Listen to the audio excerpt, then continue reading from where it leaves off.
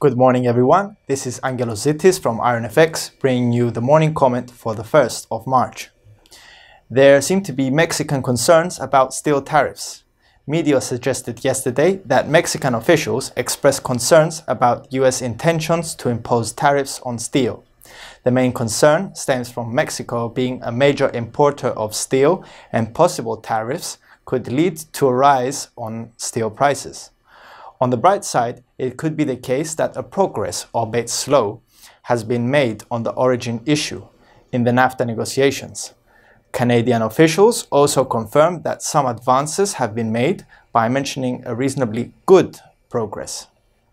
Should there be further positive headlines about the NAFTA negotiations, the US dollar, the Canadian dollar, and the Mexican peso could rise. USD CAD continued to rise yesterday, breaking the 1.28 resistance line now turn to support. We see the case for the pair to stabilize and continue to trade in a sideways manner in the next couple of days, albeit some bullish tones may continue to exist along with some downward corrections.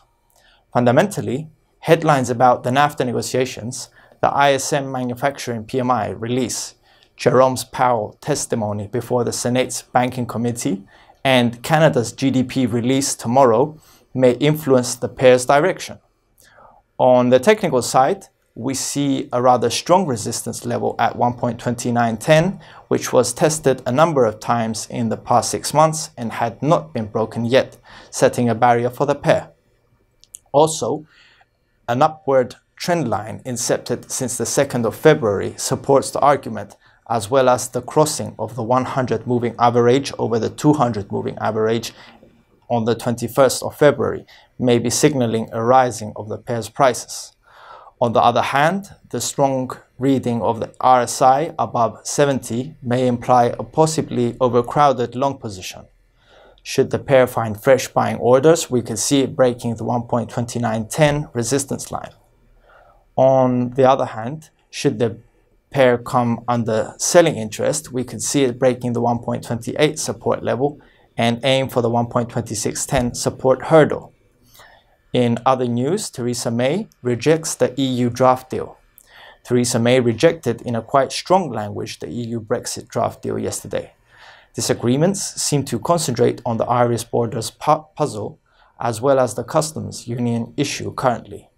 Phrases like no UK Prime Minister could ever agree to it and we will never do so underscored her determination political analysts are pointing out that hard Brexit probabilities just rose. Most probably, the UK political stage will be put to test as Theresa May may be forced to choose clearly sides sooner than later. Any choice made could bear considerable risks and political costs for the Prime Minister. The pound reacted negatively to the news, and any further negative Brexit headlines could continue to weaken the pound. Cable dropped yesterday, breaking the 1.3850 support line, now turned to resistance, as well as the upward trend line incepted since the 13th of January. We could see cable trading in a bearish mood in the next few days. The fundamentals behind the pair could weaken the pound, as negative Brexit headlines may continue to appear, and Powell's testimony before the Senate could support the US dollar. Should the bears have the upper hand, we could see the pair continue to drive south, breaking the 1.3750 support line and aiming for the 1.3615 support zone. On the other hand, should the bulls take the reins, we could see the pair breaking the 1.3850 resistance line. As for today's other economic highlights, in the European session, from the UK, we get the nationwide house price index for February. From France, Germany, and the Eurozone, we get the final manufacturing PMIs for February. From the UK, the manufacturing PMI also for February, and from the Eurozone, the unemployment rate for January.